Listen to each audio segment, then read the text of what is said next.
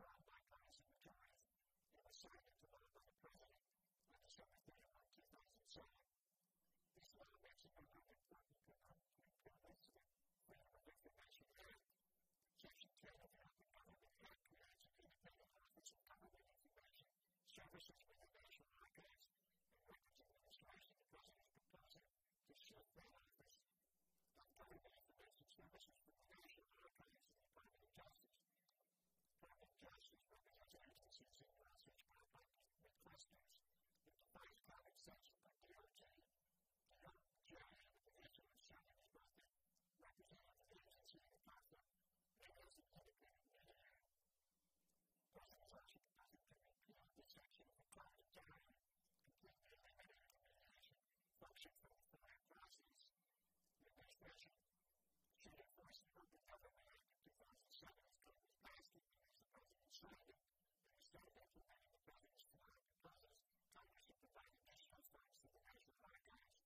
service of